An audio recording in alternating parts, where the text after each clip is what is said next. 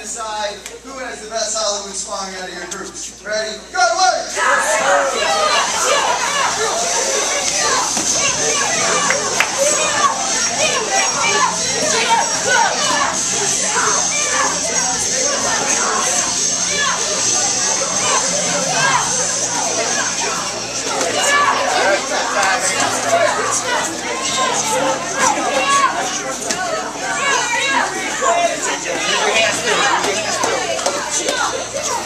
Good, good, good combination.